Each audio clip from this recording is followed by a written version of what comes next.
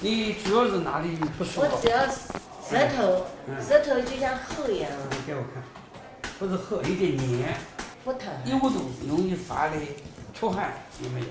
出汗到干活的时候就是容易容易出汗的。不干活。中气不足。中气不足。嗯。阴亏湿的内在。我也是人家说介绍的，我也不知道。是人家介绍的。哎哎哎。好，南丰人蛮多。一大早。顾氏中医内科第三代传承人顾仲道一坐在张家港市中医医院明医堂诊疗室里，接待络绎不绝的病患。这些患者有的来自张家港市的各个镇区，有的则是从外地慕名而来。我在街上干活，干活就是一个给我呃好朋友给我介绍的。我说呃这里一一胖就是就像睡了一样。他说：“你去快去吧，呃，到中医院找顾到那个医生说，呃，专家挺好的，我就搞我女儿月牙了，今天就来了。”二零一二年，顾仲道从张家港市第三人民医院退休后，便开始在这里坐诊。已经六十八岁的他，诊疗日程依然排得满满的。要把我的那个古式中医呢，要一点一点的教讲下去。我不想退休了，在家里无事事事，对不对啊？所以我要出来，既要要既要他们中医要要讲聘请了我，我就是要出来好好的工作，好好的要教讲这故事呢，跟中医，把那个中医的内容呢要发扬光大。这里是顾氏中医世家陈列室。顾氏中医内科始创于清代末年，至今已有一百多年的历史。第一代传承人顾玉堂出生于清朝咸丰年间，是当时唐桥一带小有名气的小儿科医生兼私塾先生。他的医术呢，确实是很光明的。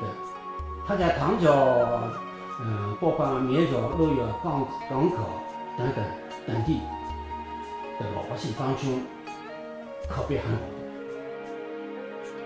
一九一七年出生的顾玉堂的孙子，也就是顾仲道的父亲顾殿良，是顾氏中医内科的第二代传承人。顾殿良幼时受祖父顾玉堂的影响，五岁起便诵读《汤头歌》等中医典籍。祖父去世后，十七岁的顾殿良经人介绍到当时的名医张承器处学医，三年期满后由先生授牌，并经民国政府医政部门批准，开始独立行医。由于顾殿良医德高尚，医术精湛，顾氏诊所门庭若市。我三十岁的时候呢，得了个肾病，全身浮肿，全身无力。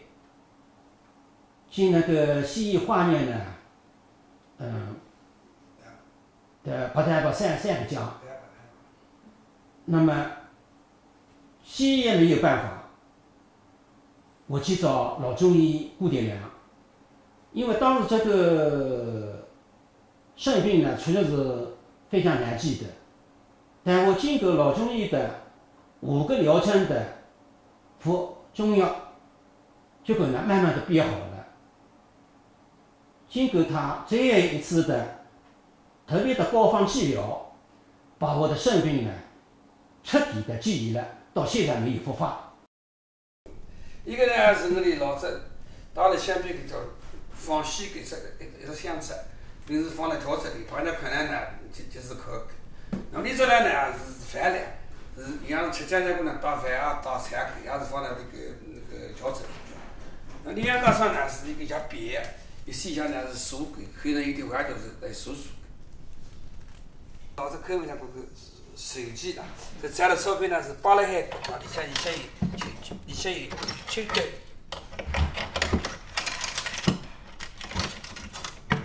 啊，一些有秋袋，三个秋袋。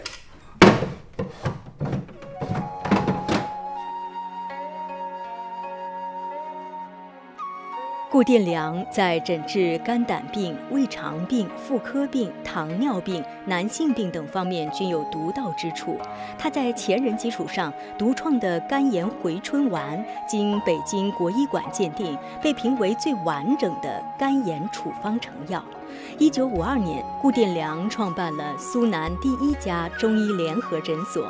一九八零年，他被授予江苏省名中医称号。肝病呢，当时讲过呢，就是为了呢不叫肝病，叫王病，是王代叫王病个。当时讲过呢，因为我手上呢有有一讲处方叫肝炎围肠丸，是我爷我父亲爷爷就下来个。一般的急性呢不难的，碰到是慢性的，然后治变成肝硬化了，这个病是难了。那么我还了我爸爸那个在肝炎围肠丸的基础上呢，他也从新世纪不断的补充。我记得有一味草药叫马明子是干，我也去给爸爸去吃个，吃了以后呢，把它把它磨成粉，做成丸子。一般那个重病的肝炎呢，一定要在一起肝炎肝炎围肠丸的。受中医世家的熏陶，顾仲道自幼便迷上了医学。十五岁时受文革的影响，顾仲道辍学务农，但他并没有因此放弃自己的中医梦。实际上我的中医道理呢比较曲折的，我因为从小呢出生在中医世家呢，我我很想当一名有名的医生，就是想当上那个正规大学毕业。结果文化大革命呢爆呃发生呢，是我凶残的时候都开始不能去读书了，并且家里受到冲击。但是我父亲呢叫我要坚持，所以我呢在那个呃每天呢早上呢起来读书，晚上呢。一天在过农忙还忙了，我还是要回到家里，在煤油灯下看书。文革结束后，顾仲道一方面继续跟随父亲学习，尝试独立诊治一些基本的病症；另一方面，他报考了南京中医药大学，进行全面系统的学习。一九八五年，父亲突然中风，卧病在床。但是我想。这个故事中医呢，可不能够因为爸爸中风我把它断了，我一定要坚持下去。所以我呢，把爸爸的病人呢，嗯，呃呃，接下去了。但是困难不少，为了怎么办呢？我我只是中只是走到碰到困难回去看书，碰到困难回去看书。哎，这样呢，慢慢的经过几年以后呢，爸爸的那个病人呢，我我就能给这些下来了。故事中医内科这根接力棒，顾中道一接就是三十多年。最多的时候，顾仲道的年接诊量达到一万五千人次。他不断总结祖辈留下的宝贵经验，并且结合新的实践，开展了内病外治的中医新疗法，对许多顽疾效果显著。如对慢性结肠炎的治疗，他摸索出了一套攻补兼施、汤丸结合的办法，治愈了数以千计的慢性结肠炎病人。在顾氏中医世家陈列室里，一面面锦旗，一封封感谢信，透露出患者对顾氏中医内科的信任。正是靠着精湛的医术、高尚的医德，顾氏中医内科历经百年，依然经久不衰，深受百姓的信任。二零二零年，张家港市中医医院申报的顾氏中医内科入选了苏州市非物质文化遗产名录。内科病呢，要要要为个方嘛科学的，方嘛哪能方的呢？就讲个尿管开始，分为三部分：陈、冠、插。这些呢有些呢不一样，这些呢叫新科学，有些呢鼻。中医是世界医学当中的瑰宝，出身中医世家的顾仲道深知传承责任重大。如今，顾仲道的女儿已从南京中医药大学毕业，接过了顾氏中医内科的接力棒，在张家港市中医医院内科工作，守护百姓健康。因为我呢受父亲、受爷爷的影响，所以在我心里呢也有什么。当这个医生一定要从娃娃就跳起的，是吧？